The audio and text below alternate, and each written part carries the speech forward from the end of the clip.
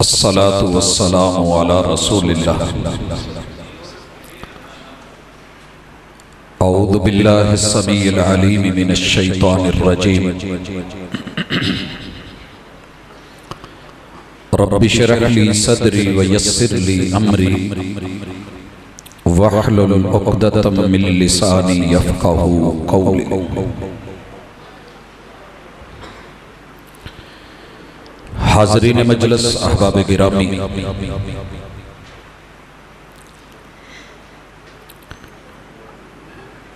कुरान मजीद के साथ आप लोगों का ये सफ़र।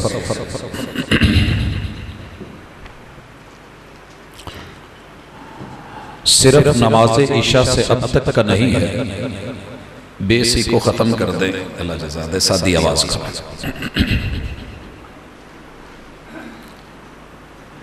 मैं अपने महदूद वक़्त के अंदर बड़े इख्तसार के साथ चार पाँच गुजारिशात करना चाह रहा हूँ, जिनका ताल्लुक किताबुल्लाह के साथ और हमारी जिंदगियों के साथ है। सबसे पहले, दुनिया का ये छोड़ा हुआ शोशा कि ये किताब मुनजल में नल्ला नहीं है। महफूज नहीं है। कुछ ने कहा कि इसमें आयात की, सूरतों की, पारों की कमी है। और हमारे मशरक का हमसाया इस वक्त ये कह रहा है कि इसमें कुछ आयात ऐसी हैं कि जो किताब नहीं कुरान नहीं रब का कलाम नहीं बल्कि खुलाफा ने अपनी तरफ़ से डाली। ऐसे माहौल में आप और मैं माफल हुसन के रात में अगर बैठे हैं तो बहुत ज़रूरी है कि अपनी नर्सरी का, बच्चों का, खुद का, मर्दों का, औरतों का मोमिन का, कलमा पढ़ने वालों का। ये पुख्ता अकीदा होना चाहिए कि कुरान मजीद अल्लाह का स्पेशली तोहफा है। कलाम तो मेरा रब अजल से करता आ रहा है। अब तक जारी और सारी है। आदम सलाम से लेके ईसा सलाम तलक सब नबियों और उम्मतियों के लिए रब ने कुछ ना कुछ कहा। लेकिन जो महबूब के लिए और उनकी उम्मत के लिए कहा, वो कुछ मुनफरद है। मैं मिसाल से जरा बात वाजे करना चाहता हूँ। पिछली सदी के आखिरी अशरों तलक मैंने ये देखा है। कि फ़ोन का, मोबाइल का ज़्यादा रिवाज नहीं था, जो दुनिया बाहर जाती थी, लोग यहाँ से खत लिखते थे। लेकिन एक रिश्ता ऐसा था कि जो खत की बजाय केसट रिकॉर्ड करवा के और फिर उसको बंद करके, पैक करके, स्पेशली लिखा होता था कि ये मेरे फुला के अलावा कोई और ना सुने। ये खास है। रब ने अपनी कलाम को, अपनी गुफ्तगु को, अपने अल्फाज को, अपने कलेमात को लोहे महफूज में सेफ़ कार्ड में अलग से मोहम्मद रसूलुल्लाह के लिए जिसको महफूज किया, बल हो कुरान मजीद फ़ी लोह महफूज। ये स्पेशली एजाज आपके लिए है, आपके पैगंबर के लिए है। इस पे जितना फखर करें, कर सकते हैं, जितनी कदर करें, कर सकते हैं। और दूसरी गुजारिश, कि सारी दुनिया मिल के बोले कि इसमें ऊंच नीच है, आगे पीछे तो अपना ईमान बना लें। तारीफ़ वो होती है जो दुश्मन को भी करनी पड़े एक साल नहीं, दो साल नहीं, तीन साल नहीं, पाँच साल। पाँच साल। कुरान मजीद के बयालीस हज़ार नुस्खे। और एक प्रेस का सिर्फ़ एक नुस्खा। मसलन ताज कंपनी का लिया तो एक नुस्खा लिया। किसी और कंपनी का लिया तो एक नुस्खा लिया।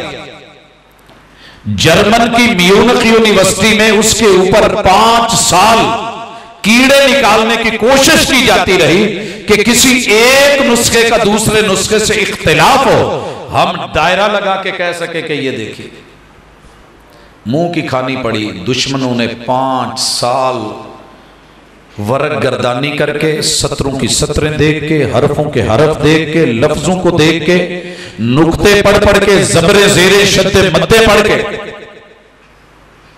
आपको पता है कि जब हमारी महफिल उसने किरात होती है तो इसके अंदर मुख्तलिफ़ लहजात में पढ़ा जाता है। और आपको पता है वो एक तो नहीं होता। लेकिन ये लहजे मुख्तलिफ़ हैं, मानी मुख्तलिफ़ नहीं है। मकासिद जो मफाहीम है, वो मुख्तलिफ़ नहीं है। वो वही रहते हैं। हाँ लबो लहजा बदलता है। ये जो आज पढ़ा जा रहा है ना मैं मिसाल से समझाना चाहता हूँ, मैं कराची में था। तो प्योर जो मुहाजिर लोग हैं ना, अंदर, वो पता है कैसे बोलते हैं, का जाना हो कि कहाँ जा रहे हो, ये कहना हो। तो कहते हैं, कह जावे, कह। है माना क्या है कि किधर जा रहे हो? आम उर्दू बोलने वाला यही बोलेगा, किधर जा रहे हैं? और जब मैं सरजमीन सिंध में दाखिल होता हूँ तो कै और किधर का लफज तब्दील हो जाता है किडो में? किडो। सिंधी क्या बोलेगा? वो किधर नहीं कहता। वो कह नहीं बोलता। वो कहा नहीं पूछता कि कहाँ जा रहे हैं? किलो और जब मैं सादकाबाद की पट्टी से जनूबी पंजाब में दाखिल होता हूँ तो ये अब वाओ ये में तब्दील हो जाती है बड़े वाली में। क्या कहते हैं वो? किडे वहदे पे हो। लहजे का तलफुज किलो किडे वहदे पे हो। और फिर जब मैं खानेवाल से ये खुशाब तक की पट्टी में दाखिल होता हूँ, इसमें तांदलियाँ वाला ये सारी पट्टी दरियाओं के इर्द गिर्द चनाब के और रावी के तो फिर ये डाल दाल में तब्दील हो जाती है, किधे जाऊँ मैं? किधे जाऊँ? और फिर मैं जब आगे बढ़ता हूँ टोपा से लेकर के फैसलाबाद और उसके कुर्बो जवार में कितने चल रहे हो? पूछते हैं कि नहीं? कितने चल रहे हो? तो आड़ा पता नहीं मैंने तुम की कहते हो? लेकिन जा रहे हो का मसला नहीं है कितने का मसला? ए दसो ये तो वही है ना कितने अब जब मैं जाता हूँ इधर चकवाल से आगे ऊपर की पहाड़ियों पे तो लफज कथरे हो जाता है। आगे बढ़ते चले जाइए। लफज बदलते जा रहे हैं, लहजे बदलते जा रहे हैं, माना एक ही है। अगर तेरी दुनिया में रह करके ये मसला है, बाकी रह गया जी, आपने हरूफ बदल दिए, तुझे समझ ही नहीं है फिर। कहता जी, आप भी तो ऐसे है ना, ये हरफ और है, वो हरफ और है, माना बदल जाता है। हमने कहा, यहाँ जबर जेर से भी माना बदलता है, लेकिन इन किरातों में जहाँ लचक है, जहाँ वसत है, मफाहिम महानी में, जो रब ने चाहा है, वही आसमान से उतारा है। कहता, मैं समझ नहीं सका, मैंने कहा, समझा देते हैं। एक आदमी से मुलाकात करवाई, वो कहता, जी, मैं शरीफ की शादी पे सैर गया उसने मुझे शक्कर का शरबत पिलाया। मैंने कहा, इसने क्या बोला? है समझ आई है? कहता, जी, मुझे समझ आ गई है कि ये कह रहा है कि मैं शरीफ की शादी पे शहर गया, उसने मुझे शक्कर का शरबत पिलाया। मैंने कोई माने में हेर फेर। कहता, नहीं, उसका मकसद यही है तो मेरे दोस्त किताबुल्ला पे सारी दुनिया उठ के उंगलियाँ उठाए। तेरा जवाब, तेरा ईमान, तेरा अकीदा, तेरा यकीन, तेरा इतकान वही होना चाहिए जो मुस्तफ़ा अली सलाम ने दिया था। एक शख्स आया, आप परेशान ज़्यादा ना हो अब यहाँ वहाँ चले जाएँ, जिधर जाना है तो यहाँ फिर सामने बैठे हैं तो मेरे साथ रहे। जी। हमारे यहाँ भी हरूफ बदले जाते हैं। काफ़ी सारे लोग वैगन कहते हैं, किन्ने सारे लोगों को वैगन कहना होंगे नहीं कहते बैगन तो बह के मैं गया इसी तरह हमारे यहाँ कहते हैं कि मैं तेरी छिल ला देनी। कितनी दुनिया जो छे बोल ही नहीं सकती, मैं तेरी छिल ला देनी। चलता है ना? ये एक ही खिता है, एक ही तरह के लोग हैं। कितने लोग हैं जिनको खा बोलना नहीं आता खे नहीं कह सकते, खून नहीं कह सकते। मैं तेरा खून कर देना। अब ये चीज़ें चलती हैं हम बर्दाश्त करते हैं हम लेते हैं। क्या इससे मानी मफाहिम और मताले बदल गए? रसूलुल्लाह वसल्लम के पास भी सेहाबी आए। अपने लबो लहजे में बोले अमीनम बिर्री अमीनम बिर्री हम सियाम फिम सफ़र। ये लाम को मीम में बोलते हैं। लाम नहीं बोलते। पूछना ये चाह रहे थे अमीनल बिर्री असियाम फिर सफ़र। पूछा क्या? पढ़ा क्या? बोला क्या? अमीनम बिर्री हम सियाम फिम सफ़र। तो महबूब ने जवाब भी उसी लहजे में दे दिया लई मिनम बिर्री हम सियाम फिम सफ़र। इसलिए किताबुल्लाह के ऊपर बड़े सारे लोग आपको दाएँ बाएँ करने के लिए, हिलाने के लिए, कदम डगमगाने के लिए, बहलाने और पिसलाने के लिए आएँगे। मगर मोमिन का अकीदा और यकीन ये है अलहमद के अलिफ से लेके नास की सीन तलक। ये वैसे ही है जैसे रब ने लोहे महफूज में रखा था। बेटा जरा नीचे बैठ और इसका पहला नजूल अल्लाह ने रमज़ानुल मुबारक के आखिरी अशरे की लैलतुल कदर में, लोहे महफूज से पहले आसमान पे, बैतुल इज्जा पे, फरिश्तों की पूरी हिफाजत के अंदर सिक्योरिटी में उतारा, सलाम मतला फजर। वो पहला नजूल था और दूसरा नजूल महबूब के कल्ब अतर पे तेईस साल उतरता रहा। यहाँ तक था अकीदा। अब है कि कुरान को सुना जाए। सुनने के बाद पढ़ा जाए।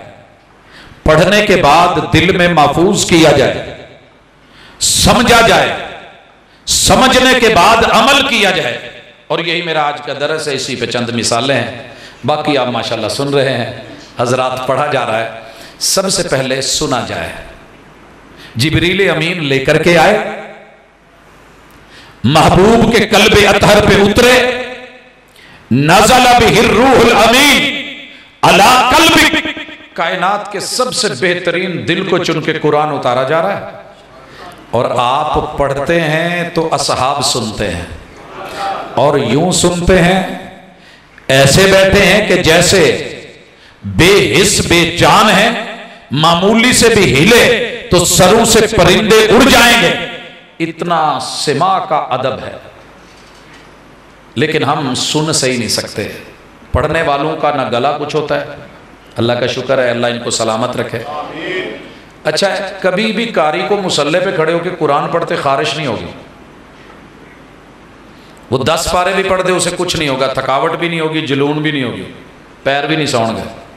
लेकिन जो सुनता है ना फातिया तो बाद अले पहली आयत शुरू हुई होंगी, कभी इधर खुरक कभी यहाँ खारिश, कभी पाँव उठा के पाँव से रगड़।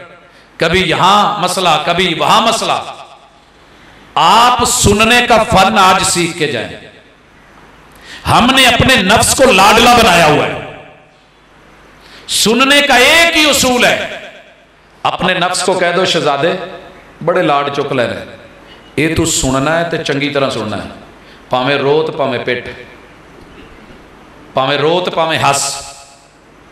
जो मर्ज़ी कर, तुझे जहाँ खारिश हुई ना, मैंने खारिश नहीं करनी। बस पहली फटीक, पहली रकात ही औखी अगे पे ठीक हो जाता। इसे लाडला मत रखे। और चेक करके देखे, शायर ने बोला था, वन नफ्स रागी इदा रगबता नफ्स की प्रॉब्लम यह है, इसको लाडला बना और लाडला होता जाता है। तीन घंटे सुला लें और सुलाएँ, छह सो लेगा। इसको और बढ़ा दे नींद बारह घंटे सो लेगा। आप रात को भी सोए रहे, फिर सो लेगा। फजर वेले उठ के फिर अंगड़ाइया तो जमाइया ले रहा हो। होता है ऐसे कि नहीं? और अगर आप इसको टाइट कर दें, खबरदार, मैंने सारी रात सफ़र करना है, तेरे लिए दस मिनट है, अलार्म भी कोई नहीं लगाना। तूने उठना भी है। बड़ी दफ़ा ज़िंदगी में ऐसे हुआ, नींद आ रही है और सता रही है। गाड़ी रोकी और नफ्स को अलार्म लगा दिया, सिर्फ़ दस मिनट टाइम है तेरे पास। नौवें मिनट पे वो खुद बोल उठा, उठ जाओ जी। और फिर आगे जो है, माशाल्लाह, तीस घंटे फिर चलता रहा, कभी चेक करके देखें। लाडलापन खत्म करें। इसको जितना दबा के, जितना टाइट करके, जितना शिकंजे में रखेंगे, उतना मुती और फर्मा बरदार होगा। मिसाल देना चाहता हूँ। अगर अल्लाह मेरे वो उस्ताद ज़िंदा हैं तो उनको अपनी खास रहमतों के साथ सेहत और आफियत वाली ज़िंदगी दे। अगर वो इस दुनिया से चले गए हैं, मुझे इलम नहीं है। तो अल्लाह उनके दर्जे बुलंद फरमा। ये मस्जिद नबवी के गेट नंबर तीन के बाद मुतसिल जो दरवाज़ा है, उससे निकले हैं और अपने एक दोस्त का हाथ पकड़े हुए चल दिए। मेरे सुपरवाइजर थे। मेरा मकाला इनके पास था। तो मैं उनको नोट कर रहा था कि कैसे चल रहे हैं, दोस्त का हाथ पकड़ा है, सारा कुछ उस्ताद थे। क्योंकि मैं सिर्फ़ लाइब्रेरी की बुकें तो नहीं पढ़ता था। हर इंसान एक खुली किताब है। शर्त यह है कि आपको पढ़ना आता हो।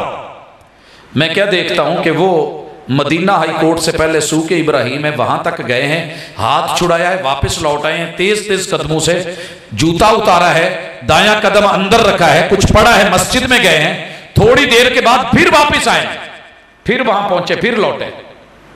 मेरी गाड़ियाँ निकलने वाली थी यूनिवर्सिटी की।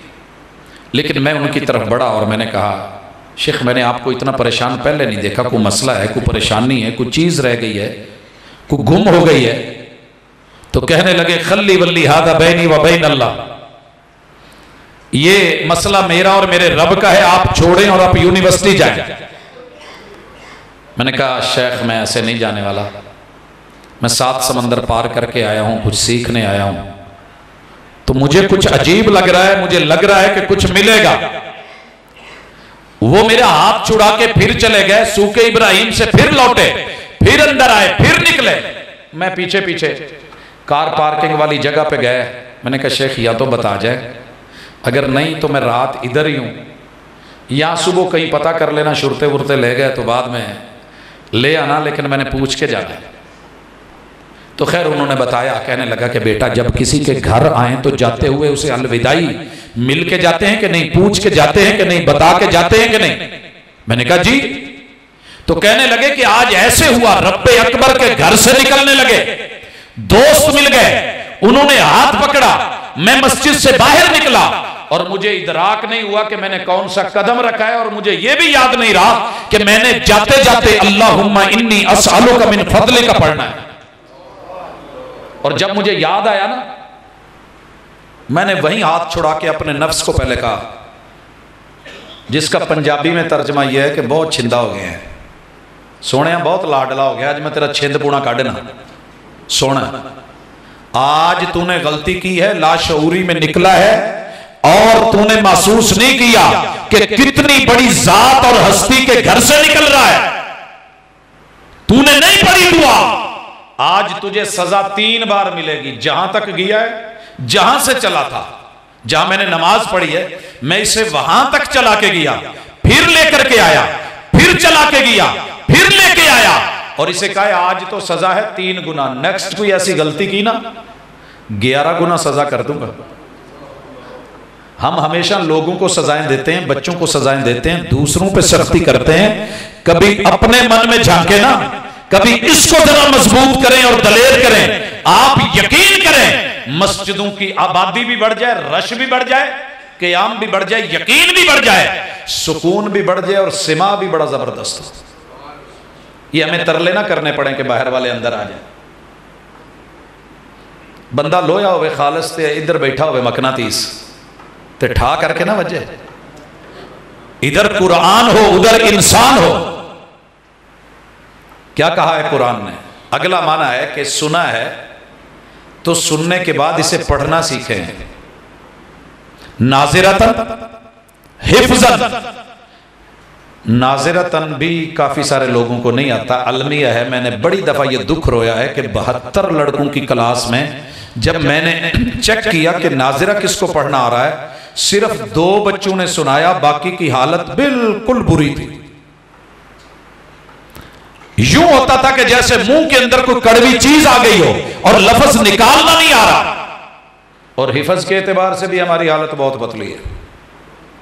आप और मैं बच्चों को तो हिफज करवा लेते हैं। बड़े सारे बच्चों को ना कई सूरतें छोटी छोटी याद हैं बड़ों को याद नहीं होती। फिर बड़े कादे होए।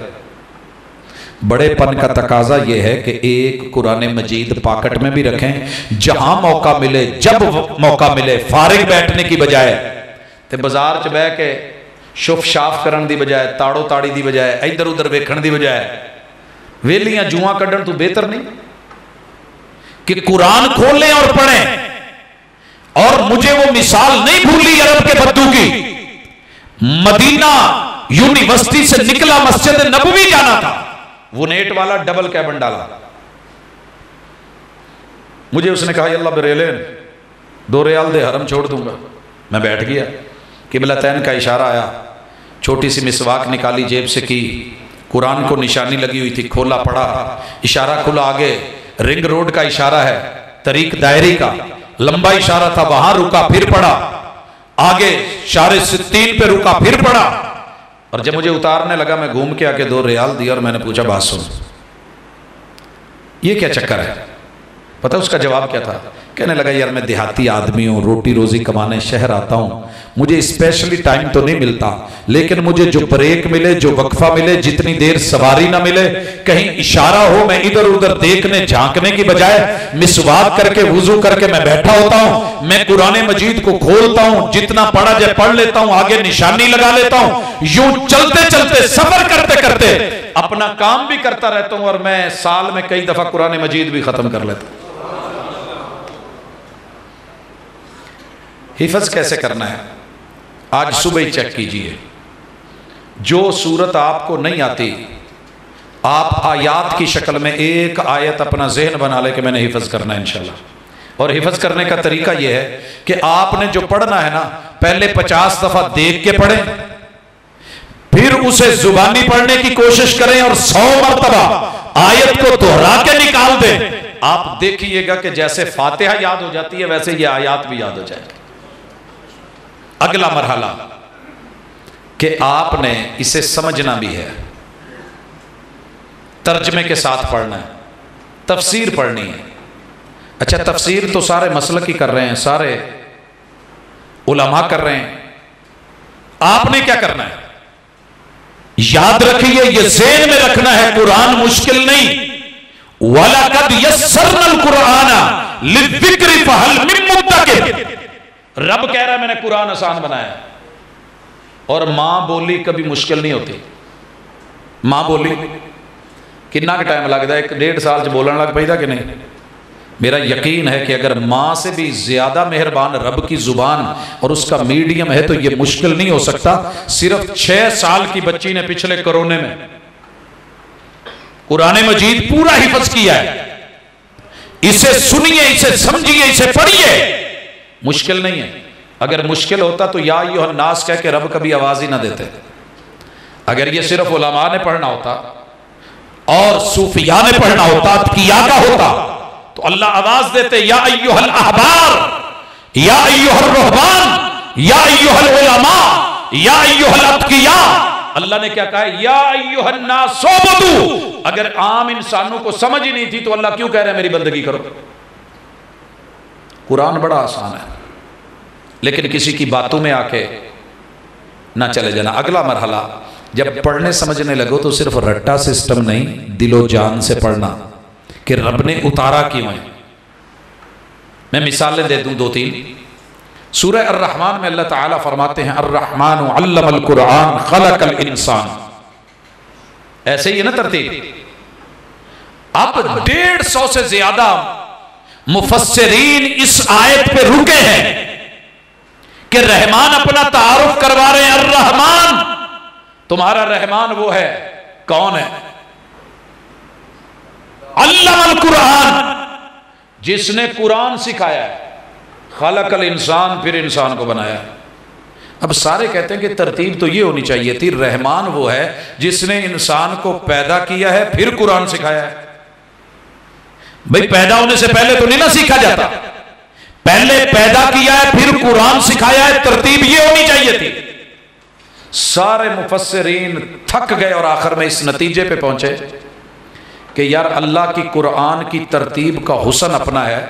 अल्लाह ताला बताना ये चाहते हैं कि रहमान वो है जिसने कुरान सिखाया, इंसान को पैदा किया। बंदा जब तक कुरान ना पढ़े, सौ साल का भी हो जाए, वो पैदा हुआ ही नहीं। वो पैदा ਇਹ ਪਹਿਲੇ ਤਾਂ ਮੈਨੂੰ ਸਮਝ ਨਾ ਆਈ ਜਿੱਦਣ ਅਸੀਂ ਆਏ ਨਾ ਲਾਹੌਰ ਪਹਿਲੀ ਦਫਾ ਸੁਣਿਆ ਸੀ ਲੋਕਾਂ ਕੋਲੋਂ ਕਿ ਜਿਹਨੇ ਲਾਹੌਰ ਨਹੀਂ ਵੇਖਿਆ ਉਹ ਜੰਮਿਆ ਹੀ ਨਹੀਂ हालांकि हम पैदा तो हुए थे उम्र भी काफी थी लाहौर की टिकट करवाई और पता करवाया कि आखिर लाहौर में है क्या कि हम दुनिया के किसी भी हिस्से में चले जाएं पैदा ही नहीं हुए जब तक लाहौर नहीं देखा जब अर रहमान कुरान खाला इंसान पे बात आई तो यकीन आ गया कि बंदा जमया ही नहीं जब तक कुरान पढ़िया नहीं कुरान नहीं सीखा, वो तो तू नहीं जम्मिया, भावे पीएचडी कर ली। और ये हकीकत है हकीकत है। हमारे एक दोस्त है, उन्होंने पीएचडी कर ली, कुरान नहीं पढ़ा और ये जो कायदा पढ़ाते हैं ना, कुरानी कायदा, ये भी शायद उसने नहीं पढ़ा, लेकिन पीएचडी कर ली। जब उसका थीसिस चल रहा था तो मैंने उसे कुछ लिख के देना था तो उसमें हरूफ तहजी के एतबार से वो आखिर में नहीं बनाते जो फहरिस्त। तो मैंने कहा हरूफ तहजी के एतबार से फहरिस्त बना के ले घर जाके फ़ोन करके कहता है साजे साहब, मैनू ये हूँ पता नहीं भी काफ नुकते वाला पहले आंदा या काफ कशिश वाला पहले आंदा यानी पीएचडी कर ली लेकिन मेरे बच्चे ने जो पैदा होते हुए छोटे बच्चे ने, उसको पता है कि काफ नुकतों वाला पहले है, काफ कशिश वाला बाद में है। लेकिन उस बेचारे को इल्म नहीं हुआ। रब ने फिर सही नहीं बोला। रहमान तो रहमान है। कुरान सिखाया, इंसान को पैदा किया है। जिसने कुरान नहीं सीखा, साढ़े पाँच जम्मिया ही कोई नहीं। अगली बात। कुरान पढ़ते उम्र गुजर जाती है, पढ़ाते उम्र गुजर जाती है, सीखते उम्र गुजर जाती है। इंसान बूढ़ा हो जाता है, शेखुल हदीस बन जाता है, शेखुल कुरान बन जाता है।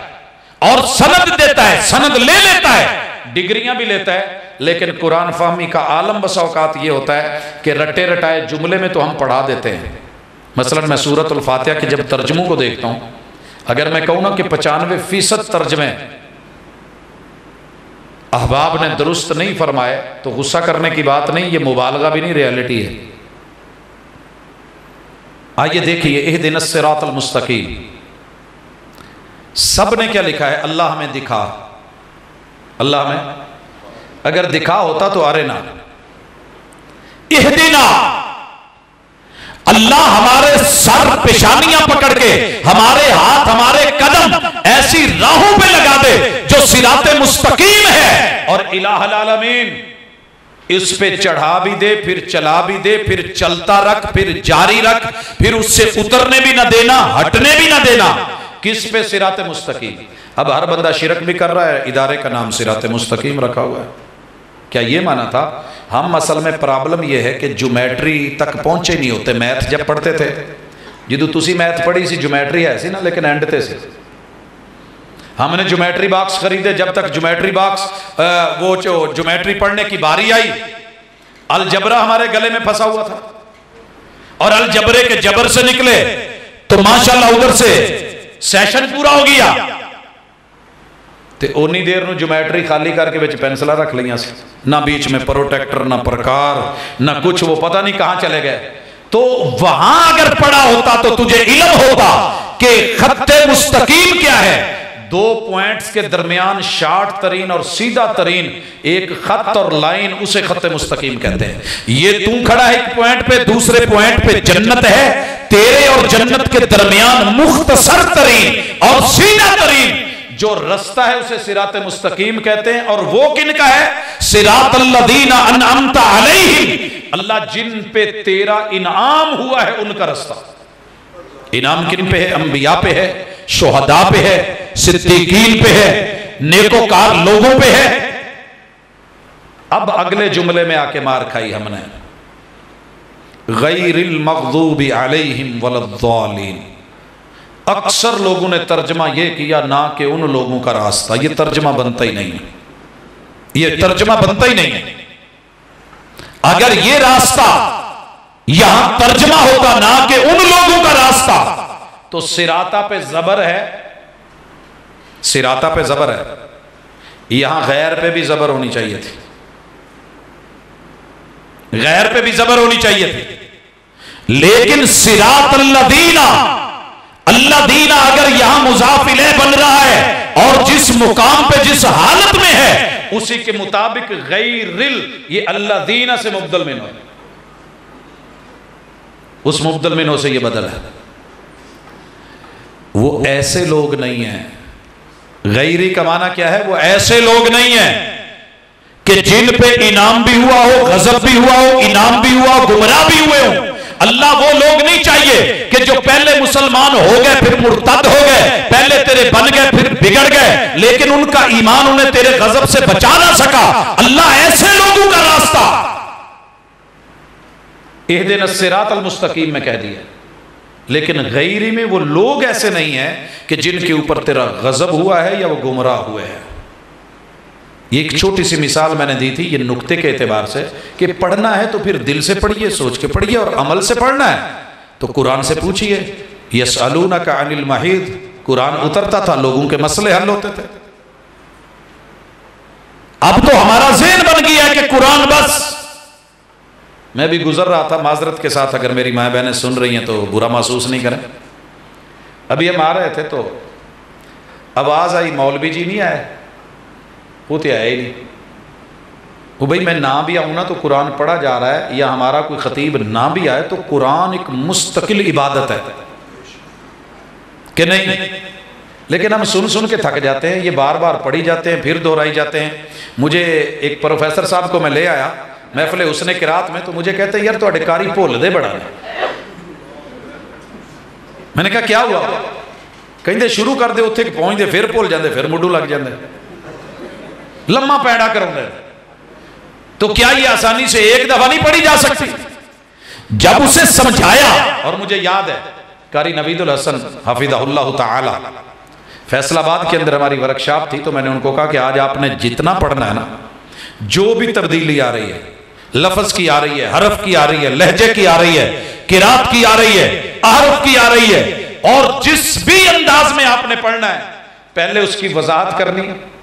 ताकि लोगों को पता चले। आप यकीन कीजिए कि जब वो तर्जुमानी के साथ उस महफल के अंदर कुरान पढ़ा गया और सुनाया गया, आज तक हमसे डिमांड है कि उसी तरह किया जाए। क्योंकि आम लोगों को तो पता ही नहीं होता ना। ये तो मदीना मुनवरा की मस्जिद है जो मदीना यूनिवर्सिटी की जामे मस्जिद है ना, उसके अंदर दो बद्दू आ गए, नमाज़ पढ़ने। और कुलियतुल कुरान के आखिरी साल के जो मंझे हुए दोस्त हैं, उनकी ड्यूटी लगी होती है, वो नमाज़ पढ़ा रहे थे मगरब की। उन्होंने जब पढ़ा ना वद्दू है तो ये दरमियान में नमाज़ तोड़ के निकल गए। और पता क्या कहने लगे? इनको ये यूनिवर्सिटी बंद कर देनी चाहिए। कहते थे, बड़े पढ़े लिखे हैं कुलियतुल कुरान है, फुला फैकल्टी है, यहाँ जो है कुलियतुल शरिया है कुलियतुल हदीत है, ये बड़े बड़े दफ्तूर जो है, पढ़ाते हैं। इनसे कुरान ही सीधा नहीं हो सका। उन्होंने सीधा खत लिखा और इब्ने बास को इब्ने बास तक जब ये बात पहुँची तो तड़प गए। उन्होंने फौरी तौर पे फतवा लिख के पूरी ममलकत की मस्जिदों में लगवा दिया कि जहाँ आम लोग नमाज़ पढ़ते हैं, वहाँ आप इन किरातों का मुजाहरा नहीं करेंगे। ताकि आम आदमी कुरान के बारे में मनफी सोच नहीं लेके जाए।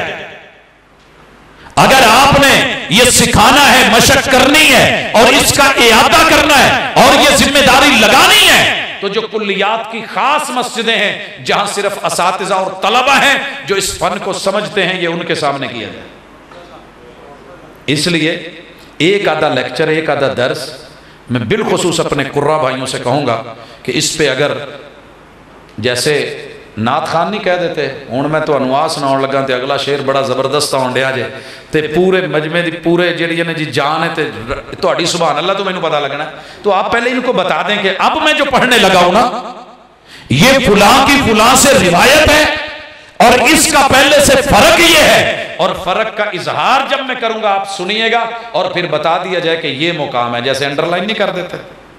तो आप यकीन कीजिए, हमारा ये जौक भी बढ़ जाए, शौक भी बढ़ जाए, और फिर कोई ये नहीं पूछेगा, मौलवी साहब नहीं है। जी, अगली गुजारिश कि कुरान को डिग्रियाँ लेके मत चले जाना, दिल से अमल के लिए पढ़ना। अमल क्या है? यस अलूना का अनिल महीर कुल हुआ अदा लोगों ने पूछा, ये बच्चियों के खास अयाम का मसला क्या है? आसमान से पर्दे में लिपटा हुआ जवाब उतार दिया गया, महबूब, आप इनको कह दे, ये दर्दनाक कहानी है, ये बीमारी है, ये बड़ी खौफनाक मर्ज है, ये इतनी तकलीफ़ दे मरहला है, ये इतनी बड़ी आजमाइश है, मैंने इसको नस्ल के लिए भी जोड़ा है, आगे जो है, ये अगली बातें तो कुरान ने नहीं की, वो साइंस ने की ना।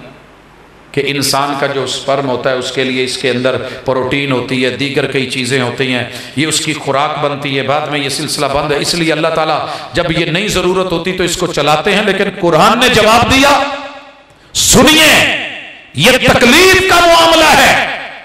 हम सबने सदियाँ गुजर गई पढ़ते चले गए गुजरते चले गए।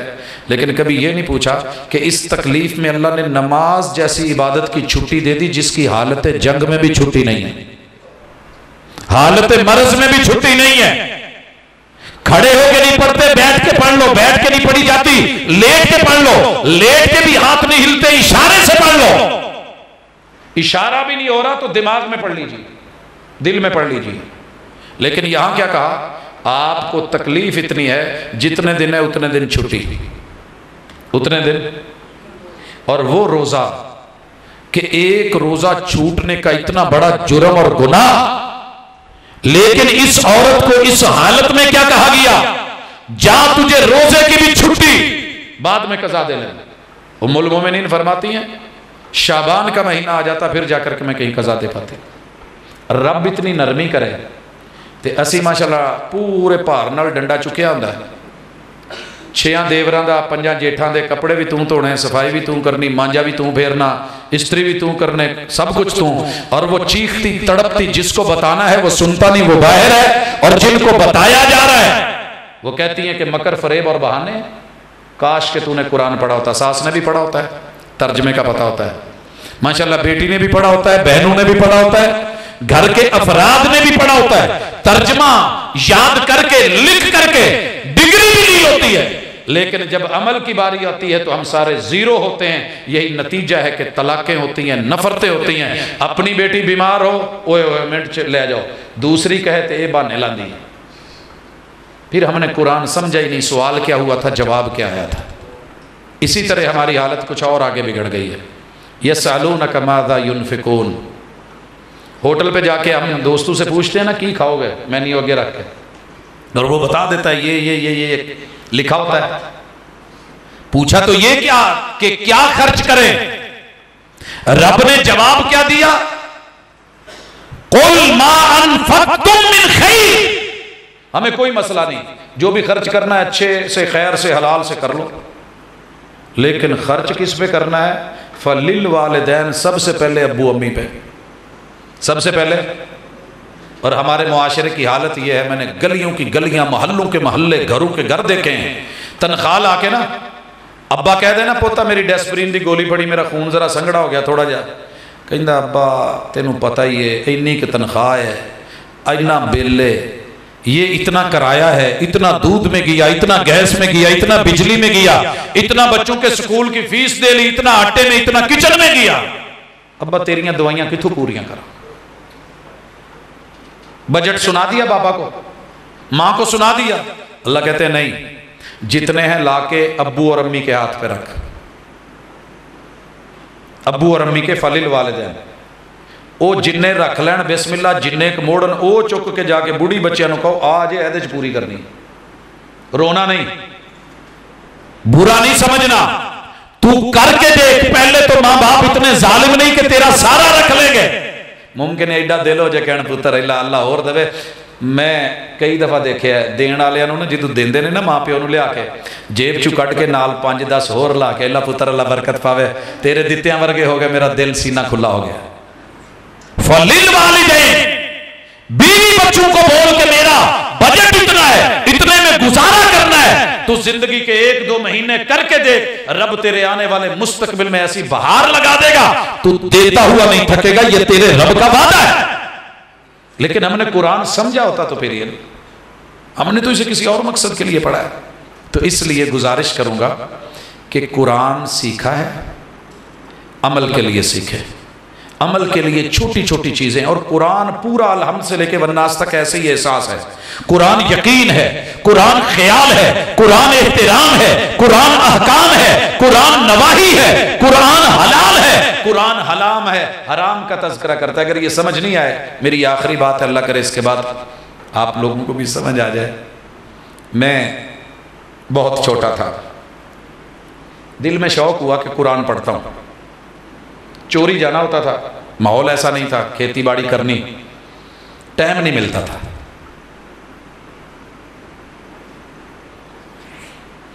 मैं जानवरों के चारे शारे काट के धुपे छावे करके पानी शानी प्यार डा के ना जी।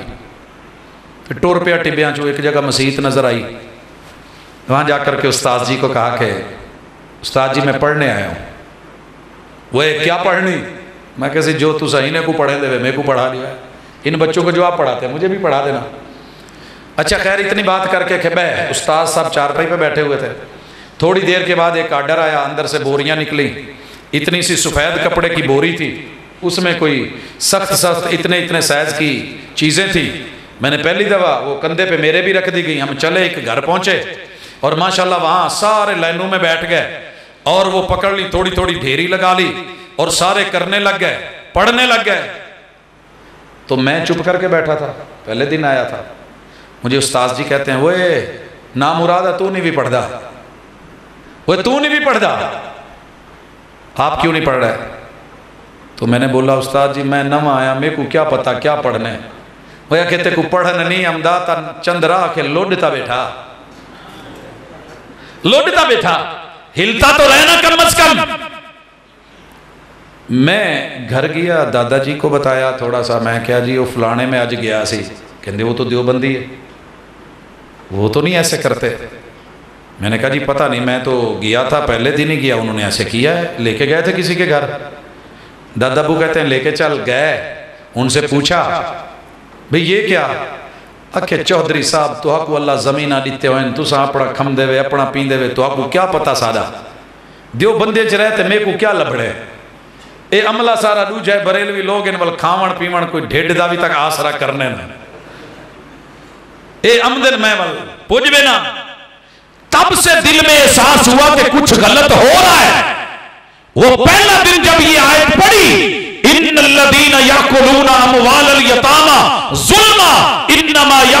फ़ी बुतूनिहिम नारा। तब पता चला कि क्यों गलत था। बाप मरा है, बच्चा यतीम है।